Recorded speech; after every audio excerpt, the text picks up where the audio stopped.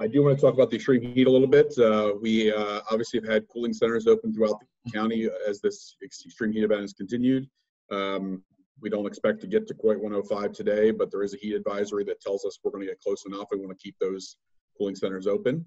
They have been uh, mostly lightly utilized, but um, obviously with the option of having our free ride-on bus service and water on those ride-on buses, I think people are utilizing multiple different avenues to try and keep cool during this event.